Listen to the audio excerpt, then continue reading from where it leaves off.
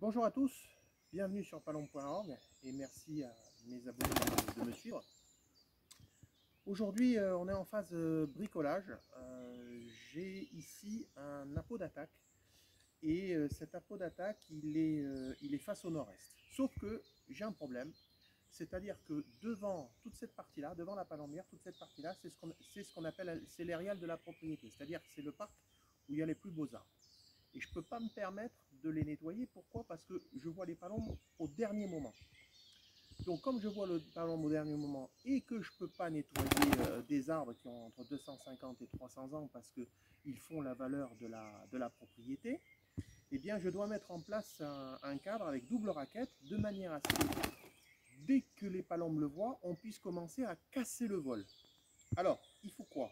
Il faut un, de la matière, c'est-à-dire un nombre de pigeons suffisant. Vous, remarquez ici qu'il y en a deux qui bougent et un qui ne, et un qui ne bouge pas. D'ailleurs, celui-là, je lui mettrai une, chaussette à la saison pour, euh, afin que ça ne brille pas. Et je dois avoir en plus, euh, outre le, volume, c'est-à-dire la matière, c'est-à-dire avoir des pigeons qui claquent bien des ailes. Voilà. Alors, euh, ici on a un écartement de 30. Les raquettes, c'est entre 80 et 85. Euh, et je suis obligé de mettre des pigeons. Je ne peux pas mettre des palombes là-dessus, elles ne, tiendraient pas. Alors, ce type de cadre a une particularité, c'est qu'on doit euh, le monter non pas ici comme un cadre normal, parce que sinon la corde viendrait se, caler contre, le, contre la raquette, mais on doit le monter au milieu. Bon, J'utilise du cordon de 5 mm avec euh, des raquettes, avec des systèmes autobloquants, comme je vous ai expliqué ici et ici, de manière à ce que, vous voyez, ça fasse ça. Hop, et ça retombe un peu par son propre poids. Toujours le même principe, le ressort pour donner l'impulsion, de manière à ce que le pigeon retombe par son propre poids. Alors, maintenant je vais le monter, et puis je vais voir ce que ça vaut. Alors, ce sont des pigeons que j'ai sortis de la volière, ils sont absolument pas entraînés, donc euh, c'est un test grandeur nature. Allez, c'est parti.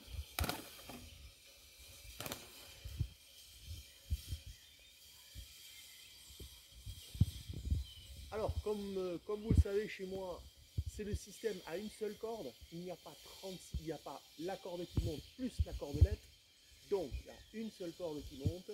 Je prends le dernier œillet que j'ai ici euh, dans ma main. Je le prends et je vais le mettre directement au contrepoids qui se trouve en bas. Le contrepoids fini. Le deuxième œillet va me servir afin de maintenir la corde totalement droite et le troisième œillet va me permettre de récupérer le fil de, de sémérage qui va aller directement à la cabane. Voilà. Alors maintenant on va voir ce que ça donne. Donc je vous dis il faut du volume et de la matière puisque moi je les vois au dernier moment les pigeons donc il faut casser les vols le plus tôt possible. Alors on va voir si ça marche. Ah ben c'est pas mal.